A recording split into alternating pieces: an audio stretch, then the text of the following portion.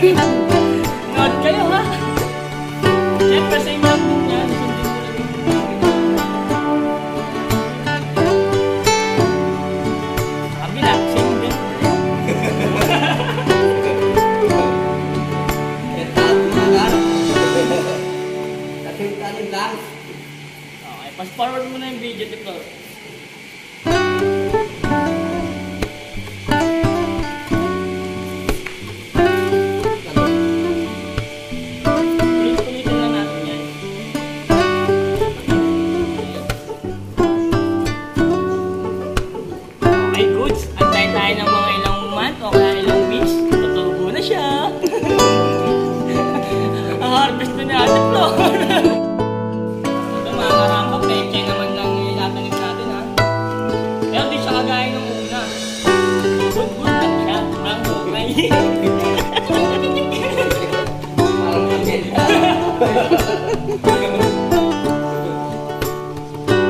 Parang naglagay ng bensin lang.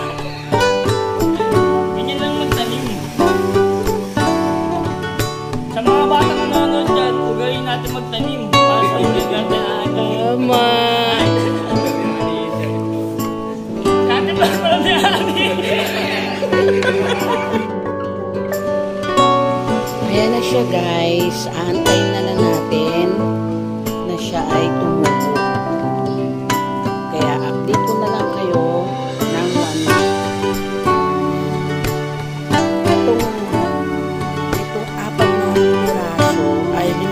Piraso talong.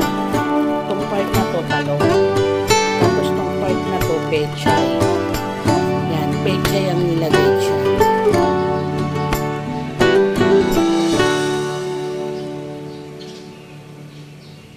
Yan.